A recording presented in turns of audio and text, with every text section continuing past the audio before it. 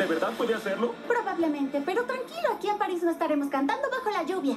¡Wow! ¡Qué profundidad, mi lady! Sí, los cambios son buenos, ¿no crees? Amo a esa chica.